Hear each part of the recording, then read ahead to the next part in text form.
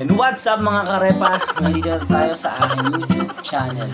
Ngayon, ituturo ko sa inyo kung paano alisin ang mga watermarks sa ating Kind Master.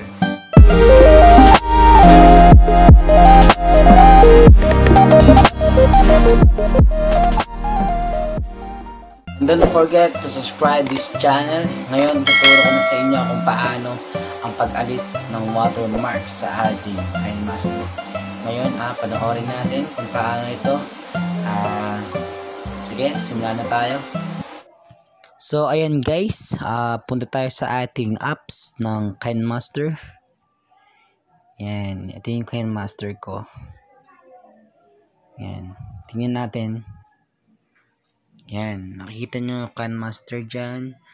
Ah, click nyo lang dito. Yan, click lang tayo ng isa dito. Ah, ito, tulad na ito. Yan. Yan. Yan. Nakikita nyo, di ba? Meron ditong parang isang meron siyang watermarks sa band dito watermarks ngayon paano alisin itong watermarks na to ayan ituturo natin back tayo dito then open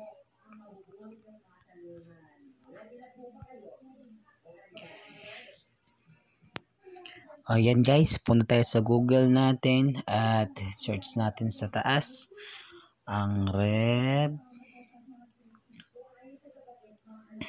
DL. Yan.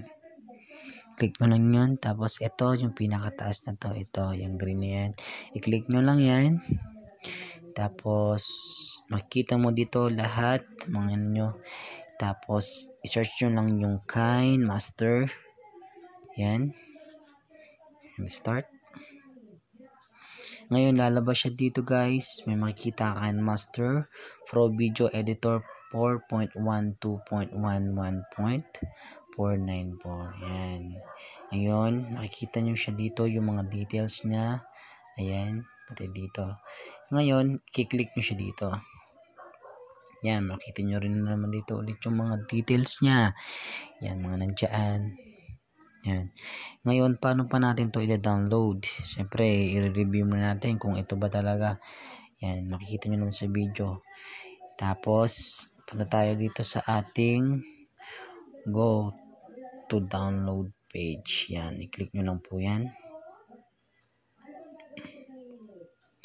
Kapag hindi pa rin at umulit pa rin siya, i-click nyo lang ulit yung go to download page.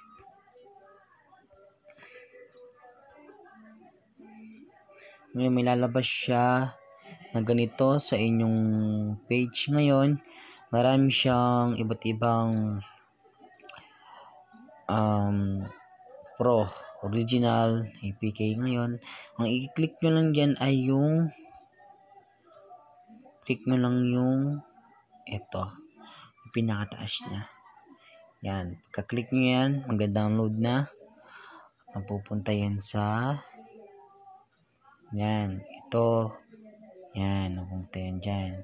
Ngayon, i-install mo. Pagka-install na yan, pupunta kayo ulit dito sa KineMaster natin.